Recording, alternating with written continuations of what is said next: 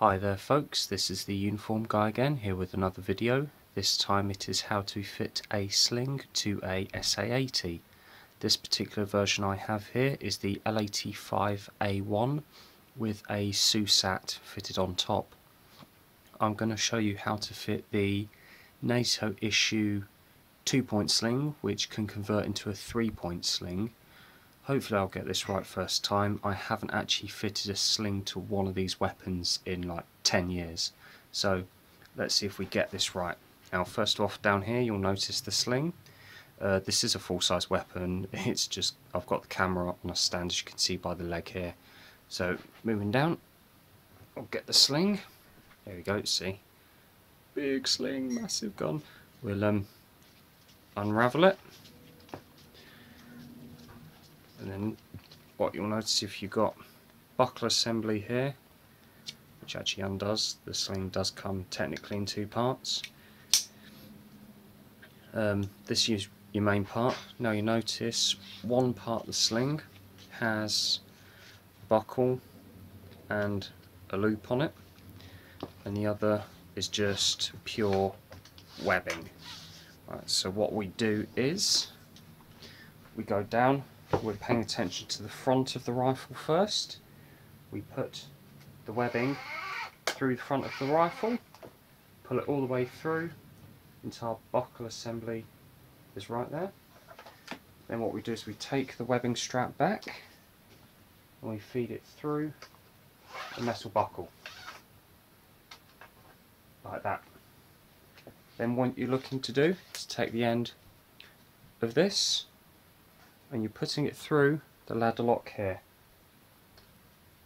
Uh, just a simple poke through, nothing too serious.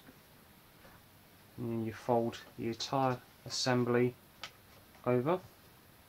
Now what you want to do is make sure this metal loop here is as close to the sling loop as possible. Makes life a lot easier later on. Now you're taking this part of the strap throwing it to one side for the moment. Taking this part of the strap, going through the rear um, sling loop, and then through, just pull it through as far as it'll go, simple as, and now getting this part back, you obviously make sure it's nice and flush and straight. Now what you're doing is you're taking this part you're going to feed it through the buckle here. So watch as I do this. It can be quite tight on some of them, it can also be quite loose, but that's one end through there. And as you can see why I'm using a stand now, because it's quite difficult even with two hands. But we pull the other strap through like that. Now some of you might be wondering what this loop is for when you want to adjust your strap, you put four fingers in here like that, grab this bit like that, and pull. And that adjusts your strap. So as you see, at the moment, that's in a two-point configuration.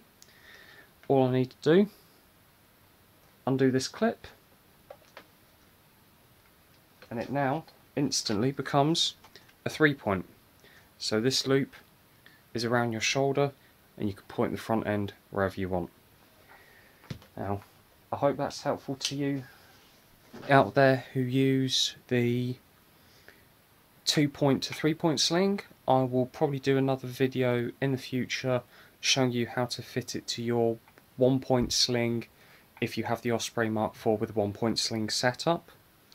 Personally I prefer this one because I'm not relying on a little buckle like this to hold the entire weight of the weapon because this is pretty damn heavy.